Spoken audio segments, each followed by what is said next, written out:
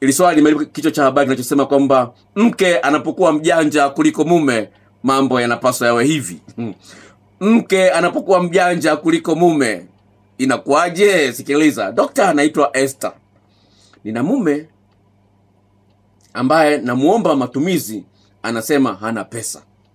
Lakini ukinunua vitu vya ndani hata nguo za kuvaa hakuulizi umetoa wapi lakini akikuona umesimama na dume unaongea nalo anachukia. Nifanyeje? Nimeunganisha na swali lingine hapo hapo. Dokta mke wangu nikimwomba tendo la ndoa gafla tumbo linamuuma. Hmm.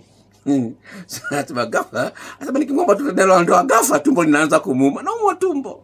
Ausingilalie haleluya sasa sikiliza tuende kwenye meseji ya este ambayo imezua mada hii. Mke anapokuwa mjanja kuliko mume. Sasa napenda niwambie wa- wanaume wenzangu unaonisikiliza sawa? Naomba niwambie hivi. Biblia inazungumza kwenye waraka wa kwanza wa petro sura ya tatu. Sikumbuki ni mstari wa ngapi lakini ni mstari ile ya mwanzoni mwanzoni. Nasema ishini kwa akili na wake zenu.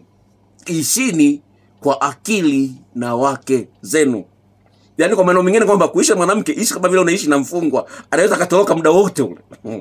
Na anaweza akakukimbia muda wote ule. Sasa anaweza akateleza. Ndio maana eh, baba wa kwanza Adam alipokuwa amemwachia mke wake kidogo, akaenda kuchukua matunda ambayo yawaletea majanga. Sawa, Sawa. Kwa unapozungumza kwamba mke anapokuwa mjanja kuliko mume, sasa hii inakuja ni kwamba unakuta kwa sehemu kubwa mwanaume anajiona mjanja kwa kufanya yeye mbabe, anaongea kibabe, usishika simu yangu, sawa? Unaona, unajiona mbabe, usishike simu yangu, unajiona mbabe, usishike simu yangu, na mwanamke anasema sawa, sitashika, sitagusa, sawa. Ikiita hapo anaiangalia, zikiingia meseji wala babaiki, hata ukilala usingizi unakoroma vipi, hashiki simu yako, lakini ameshatafuta ufumbuzi. Kwa sababu gani? Anatafuta, anachotafuta ni amani. No, yeye amani yake ni kuhakikisha kwamba anao hakika kwamba umsaliti ndio atakuwa na amani. Sasa unapomkataza asishike simu yako, anakosa amani. Pale anapokupigia simu umeshindwa kupokea, anajua umemkumbatia mwanamke mwingine. Pale unapochelewa kujibu meseji, anajua kwamba unamsaliti ana mwanamke mwingine. Pale ambapo toka asubuhi mpaka jioni una, katikati hapo hujampigia simu, anahisi kwamba umpendi. Sasa kuna wanaume wengine wanampenda, wanamwambia nakupenda baby, wanampa vizawadi. Wewe hujawahi kumpa zawadi. Wanamwambia baby, yani vela ya vocha tu shilingi elfu kumi. Eh, kanunue vocha elfu kumi. Wewe ukiomba mia tano tu bwana, naomba nikanunue vocha ya mia tano. Ah bwana, sina. Lakini wewe simu yako haichi haichi salio, anakuona unavyowapigia watu simu, unaongea. Kila siku, unapiga simu watu unaongea, unapiga salio. Yake, eh, vitu vidogo vidogo, au ndugu zake wajali, lakini ndugu zako unawajali. Wewe unajinunulia nguo, lakini mke wako mnunulie nguo yeye anasikiliza unayosema unayosikiliza lakini maoni yake uyasikilizi. Atatafuta solution anakosa amani. Lazima atafute solution. Kwa sababu yeye mwenyewe anajiona kwamba anastahili yale yote ambayo wewe unamnyima.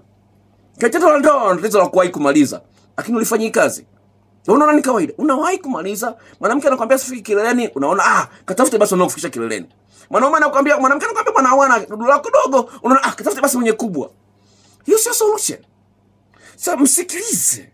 Sa msikilize huyu mwanamke maneno yake. Msikilize afanye kazi. Kama unaona analolizungumza sio sahihi uwe na pointi za kumwelewesha bwana hapa sio sahihi kwa sababu ya hii na hii na hii na hii. Kwa wewe kupotezea mambo anayozungumza maoni yake itakula kwako. Ukiona usiona kwamba kwa sababu umesema amekubali amekaa kimya ukaona ni sawa no. Atatafuta solution.